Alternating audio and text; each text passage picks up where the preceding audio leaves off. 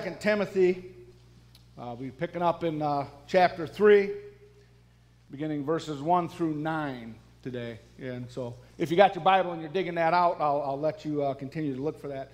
Uh, just to touch on one, uh, two announcements that uh, have been put before you already. But this Friday is the first distribution of the community food pantry from TriPoint Church of God. It is the food pantry that had been served through St. Bartholomew's Episcopal Church. Uh, sadly, they have had to close their doors and, along with it, their food pantry. So uh, it has been moved here. I want to thank everybody that came out last Wednesday to help move that in the pouring rain.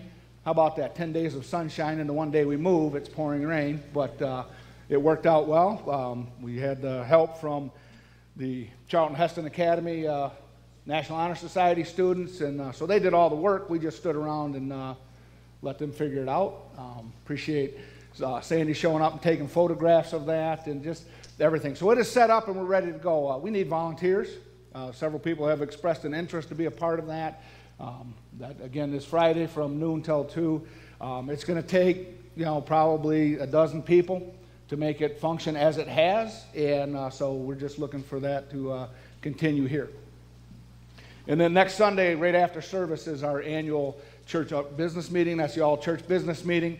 Uh, we need you here if you're a member of the church because we uh, need to have a quorum to conduct the business meeting. And this is the, the meeting where we set the budget, elect our uh, um, board of directors and our uh, election committee members uh, for the next year. And so it's an imperative that you're here for that and that we, we make that happen. Um, by uh, real quick, the Packets have been put together. I thank Shelly for all the work that she put into getting those together. They've been sent out online. If you haven't received yours yet, there are hard copies available back at the Connect Center. Um, there's a sample ballot in there of, of who the candidates are. Uh, I want to introduce uh, real quick. Uh, I didn't tell them I was going to do this, uh, but who is running for your board positions, uh, just in case you don't know who they are. And if you have any questions for them, uh, feel free to, to collar them right after service. Again, totally on the spot. They didn't know that was going to happen. Sam Gingrich is currently serving as the chair. His term expires, and he's eligible to run a second term, and he has uh, agreed to do that. He's sitting right up front here if you don't know Sam. Uh, Michael Relicki, um, he's probably got his kids out front there. Um, if you don't know who he is, uh, just get with me. I'll collar him for you and let you know. Uh, Jerry Hinsberger, if anybody comes in through this door, typically you would know who Jerry is. Um, he has agreed to run for a board position as well, and uh, he is not here today, just recovering from sh- shoulder surgery. I have to say it like that, or it gets all slurred together. Um, so, and then we have uh, Fred Denman. He's agreed to uh, fill in for uh, uh, uh, a vacancy this year and has agreed to run for a term again, and so he'll be there and is that five? I forgot to keep count. One, two. Toby Dome over here is the fifth person that's running. Um, and so, again, they'll be at the back uh, right after service if you want to meet with them and just uh, get a little bit of their testimony and, and what, what uh, their desires are for TriPoint Church of God. 2 Timothy chapter 3, beginning at verse 1. But know this difficult times will come in the last days, for people will be lovers of self, lovers of money boastful, proud, blasphemers, disobedient to parents, ungrateful, unholy, unloving, irreconcilable, slanderers, without self control, brutal, without love for what is good, traitors, reckless, conceited, lovers of pleasure rather than lovers of God, holding to the form of godliness but denying its power. Avoid these people. For among them are those who worm their way into households and capture idle people burdened with sin, led along by a variety of passions, always learning and never able to come to a knowledge of the truth. Just as Jannes and Jambres resisted Moses, so these also resist the truth, men who are corrupt in mind, worthless in regard of the faith. But they will not make further progress, for their lack of understanding will be clear to all, as theirs was also. Paul takes time in this last uh, letter to Timothy to just give him a, a brief warning. The real uh, nuts and bolts of it is this realize or come to know, be aware that there can be a problem and avoid it. There's a danger of the empty religion that permeates in our culture and in our churches today. And Paul's warning Timothy about this. He says that in the last days, difficult times will come. The Greek word for difficult that he uses here really just means harsh or fierce or savage. And when he talks about last days, what he's referring to is the church age, that period of time from the ascension of Christ until the return of Christ. The church age. All of that is the last times. Period from when he left until he, he will come back. Times always means seasons or a time period.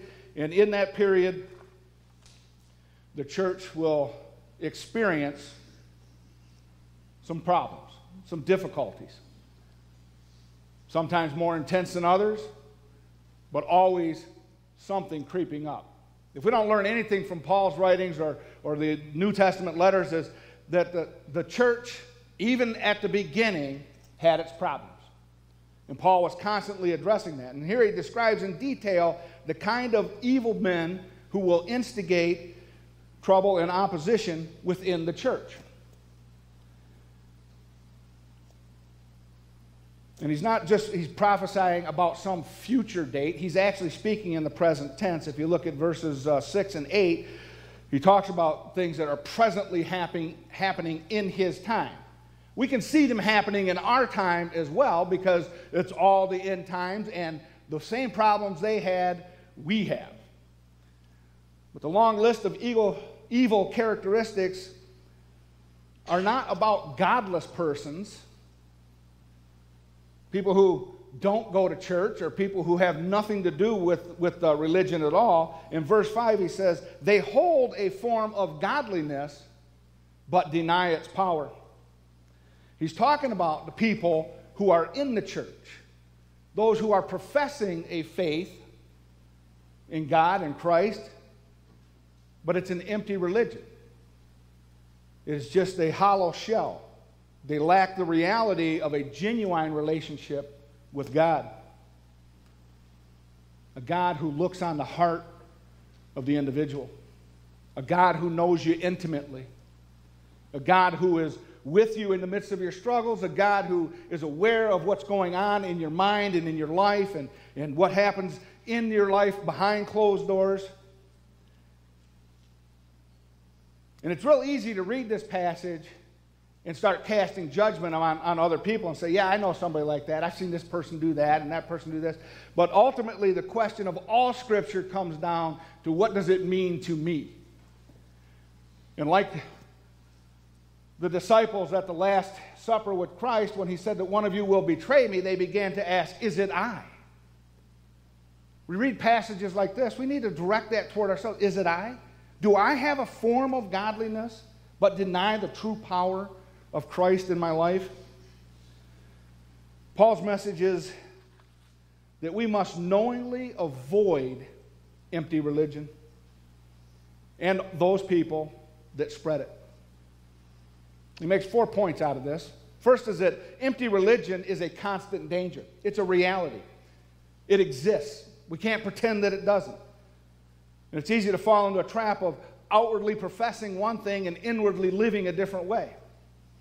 Character is ultimately defined by what you do when nobody is watching and nobody will find out. And too many times in our life, we feel that we can wear a mask and put on a front and present uh, ourselves as one way, and behind the closed doors or in the reality, we're a totally different character. That's what that word hypocrite really means. It means to wear a mask, to be on stage pretending to be something that you're not. And if you wonder why so many people who are not believers look on the church and say, man, that's filled with a bunch of hypocrites, because many churches are filled with a bunch of hypocrites. And the trick is to make sure that I am not one of them, that you are not one of them, that we are, our faith is genuine, and that we are living out what we profess to believe.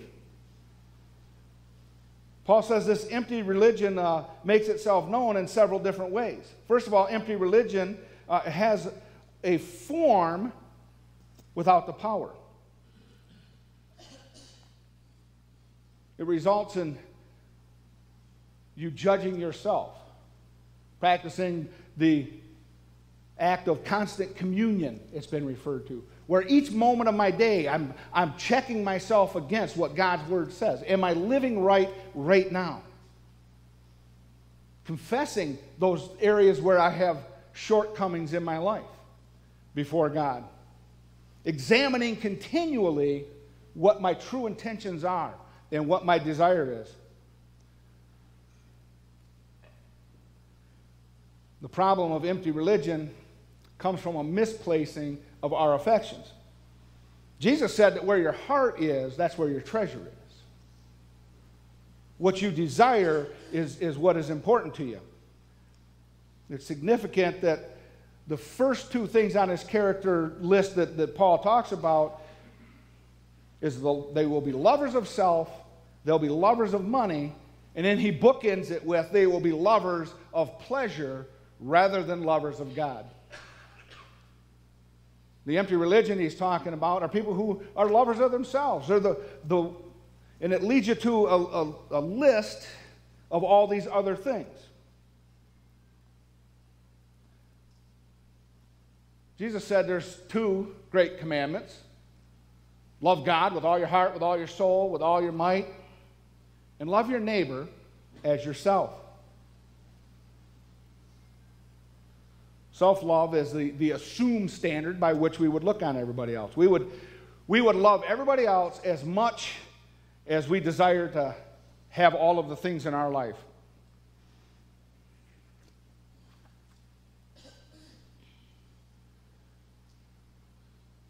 Jesus said, if you want to follow me, the first requirement is to deny yourself. Quit worrying about what's going to be yours and start worrying about what everybody else is going to have and how you can help them. There's all kinds of verses in the Bible that command us to be humble. They command us to not think too highly of ourselves. But there are no verses that tell us that we need to love ourselves more than we already do. Scripture tells us to esteem ourselves more highly than we already do, right? No, it doesn't. It tells us that just how you love yourself, be loving others. But those with empty religion are lovers of money. And that flows out of the self love. If we love ourselves, then we love money because then we can buy the things that we want to be comfortable and have a nice lifestyle. And while it is a biblical command, command that husbands provide for their family, there's a danger in loving money too much.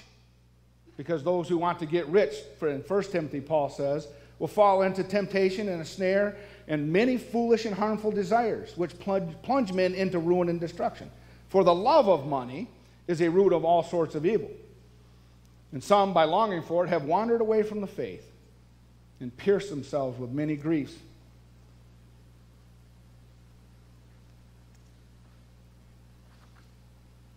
Where your affection is, Jesus said, that's where your treasure is.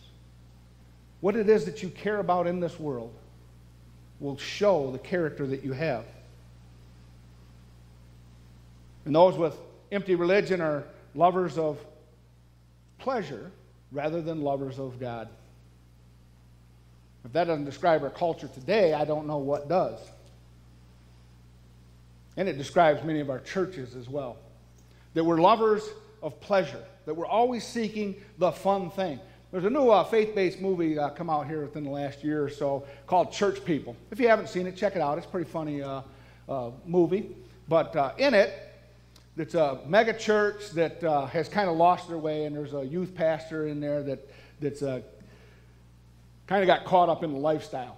And so the church is hilarious because every Sunday they got something different going on, and it's all about a show. There's there's light shows, and, and, and one particular Sunday morning they got uh, BMX bikes in the background doing loopy loops as, as the preacher's trying to preach and stuff. And, but the church has gotten into it. It's only funny because it's based in reality. If you watch some of these uh, mega churches and the, the theatrics that they put on, it's all about entertainment. It's all about amusing the individual. It's not about presenting the gospel. So Paul shows us that empty religion, religion means having a form of religion but no power. And that it's that those misdirected affections of love of self, love of money, and love of pleasure that leads to the, the, the rest of this character list, list of, of defects. Those with empty religion are boastful, he says, bragging about what they can do, all of the things that they can accomplish, all of the things that I've done. I've done that, and, and I made this happen, and I made that happen. And, and it's all the, the I, I, I of the I world that we live in. Spending time patting themselves on the back, and then it leads to that next one arrogance, because they start to believe their own boasting of all that they have accomplished on their own and all that they're capable of doing. And so that inward attitude says that, that they're better than others. And so that leads them to be being re- revilers, that the, the boastfulness and the arrogance within them has, leads it to insulting others now. He says those with empty religion are disobedient to their parents. Why did he throw that in there? Well, because the, the parental guidance of the home, the, the model that Christ has instituted of the family, is supposed to be a reflection of God's authority. And Satan works overtime to undermine Christian homes so that he can undermine that authority, that parental authority, thereby undermining godly authority in everybody's life. So they're disobedient of parents. They, they negate what authority is over them. And they're ungrateful. They're ungrateful towards God and what He has done for them the atonement of their sin and the reconciliation of each of us to, to God so that we are made right in a right relationship with Him. And they're ungrateful toward others. Any gratefulness stems from a, a realization that you're an undeserving recipient of God's grace and of others people's grace.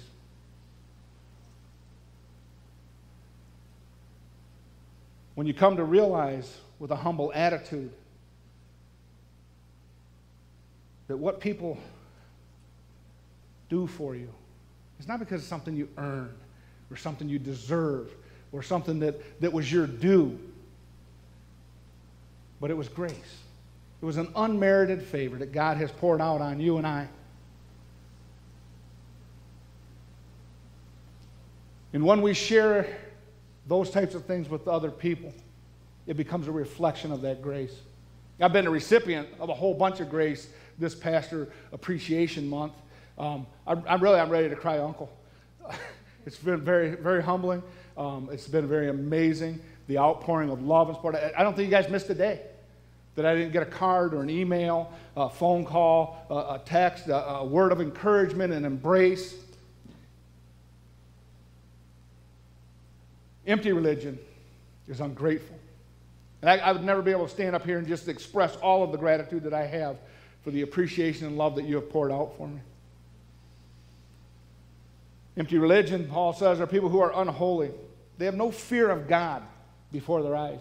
They live as, as what is right for them, and they're not set apart in any way. There's no difference between them and the world. And they're unloving. Their self centeredness leaves them incapable of even understanding that there's other people in the world, let alone that they have needs as, as great or greater than what yours are. They're irreconcilable. They refuse to seek forgiveness when they're wrong. Again, that haughty spirit that tells them that, that I have been wrong, not I am wrong.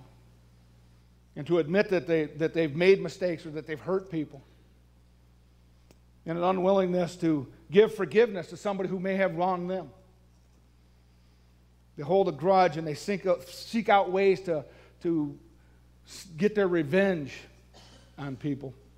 They refuse to be reconciled. They live in a world of turmoil where reconciliation is, is shut out. They're malicious gossips. They have no self control. They're brutes. They're haters of good. They're treacherous and they're reckless and they're conceited. And remember that Paul isn't talking about atheists or non believers or people from outside of the church. He's talking about people that are in the church They do not have a right relationship with God in themselves, and so they live out ways that are contrary to what their religion says. And it's important that we continue to take inventory of ourselves, that we don't fall into that trap. Because empty religion is a real danger, but empty religion also always has those who are ready to spread it. It's interesting that they're not content to just have their own empty religion, but they, like a worm, creep their way into households and captivate people that are idle or sinful or lustful. Purveyors of false religion often prey on people that have emotional or spiritual needs. People who are wrongfully burdened with a bunch of guilt and shame that they could easily turn over to Christ and, and, and be able to walk away from. But they prey on them. Satan likes to use those shortcomings as an opportunity to bring about guilt on people so that they can spread the empty religion. They prey on people who have a desire for learning. Now, learning is not a bad thing. There's nothing wrong with that. There's nothing wrong with education. Um, I say it all the time. I never took my academic pursuits very seriously because I didn't. They were just things I had to do to get to the next thing that I wanted to do.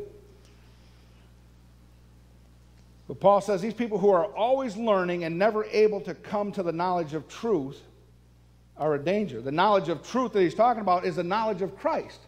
That there is a reconciliation for the life that we live, and that there is a way to repent and to turn away from a certain lifestyle and turn to what God has called us to be. And those that spread the empty religion do so by oppo- opposing a truth with counterfeit results.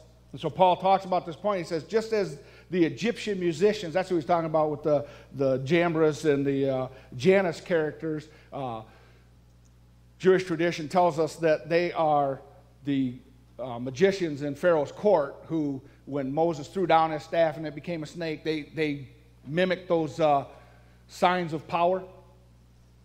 And so Paul's saying, just like they did with false signs of power, there are people in the church today who will bring about things that, that make it look like God is working or moving in some way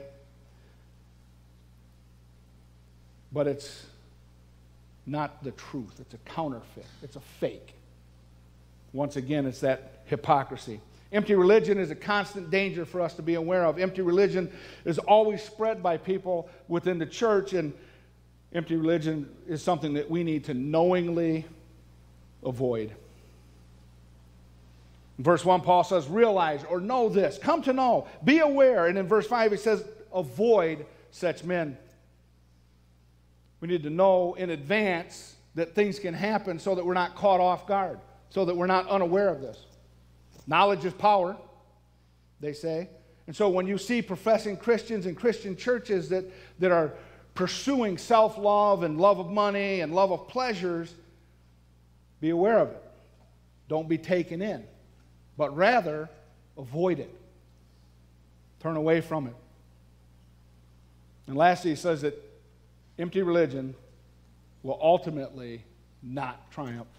In verse 9 he says, But they will make they will not make further progress, for their folly will be obvious to all, just as Jannes's and Jambres was. Paul doesn't mean that they're just going to cease to exist or cease to, to thwart the church, but there is a limit to what God will allow them to do. But the only antidote for this evil that creeps into the church is Jesus Christ and the power of God and His word of truth in our lives. So many things exist to distort what the good news says. And they'll take a little piece of Scripture and they'll twist it and bend it and meld it into a way that is palatable for people today. And next week, as we continue this, we're going to look at that idea of how they want to twist and move Scripture around. But know this that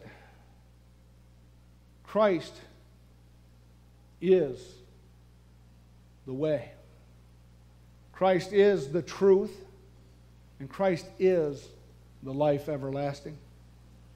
And it's in and through that reality that we become a faithful church.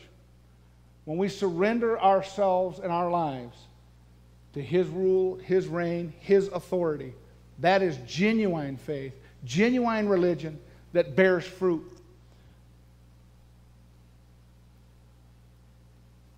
Be careful of what you listen to, what you take in, and how you allow the true words of God to be twisted and manipulated and massaged so that it's just palatable for those that are lovers of self and lovers of pleasure rather than those that are lovers of God.